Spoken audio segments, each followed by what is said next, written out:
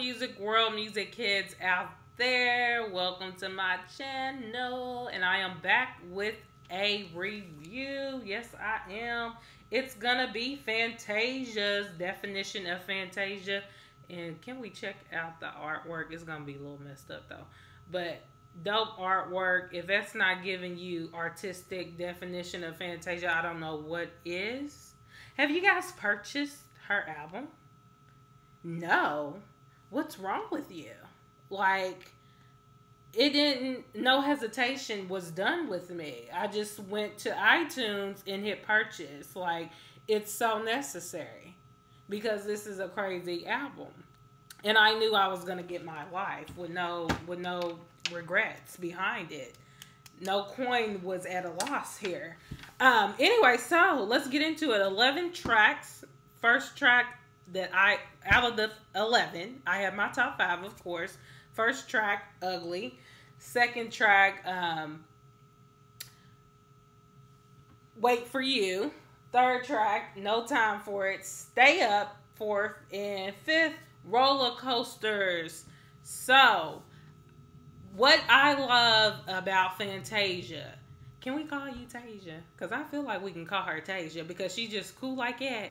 So on the track uh, Ugly, I believe it's Ugly, and uh, Roller Coaster, you're getting the little. Oh, and the features on here are um, Stacy Barthe and um, Stacy Barthe and um, Aloe Blacc and Tye Tribbett are on here, and um, the 11 the two that are more on your um like giving you a little of that country uh is ugly and roller coaster. The wait for you song i love that. How she's having the conversation even though i can't really understand him because it sound like he half sleep but um the conversation she has with her husband um on the track wait for you I think that is so cute. Like it makes you want to love love.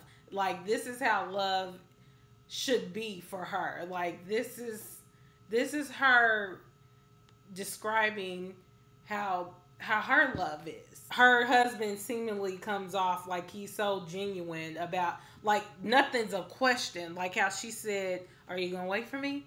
He said, like basically, "Come on, like I'm always gonna wait for you."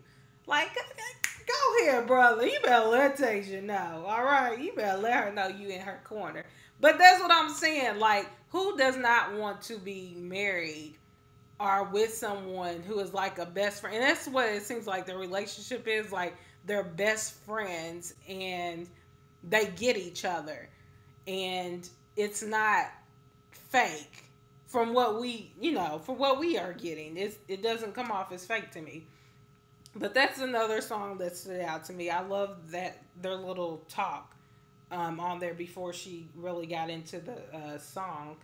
Uh, but basically, this album is a breath of fresh air. Like, we finally get to hear and, and see Fantasia at that stage where she's like, okay, this is what I'm giving, this is what I went through and I'm I'm giving y'all the process that I had to go through to get to where I am now.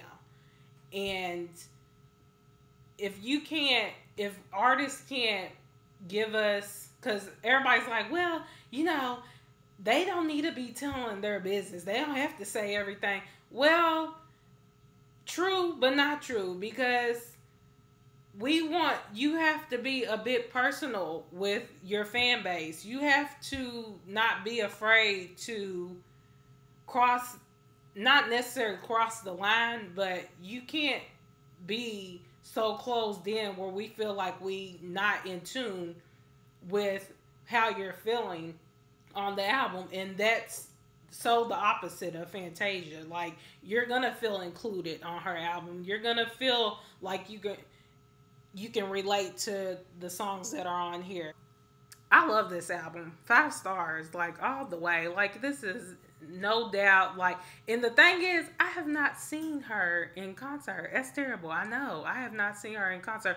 From what I've heard, she is very um like she she gives everything on the stage. It's a show basically. She gives you a show.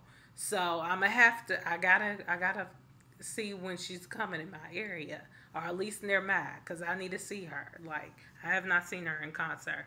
But comment below. Tell me what songs you like on here. Tell me what you think about the album and uh, subscribe. You know, holla at your girl on Twitter, IG, all that. And I appreciate you for watching as always. Love and peace.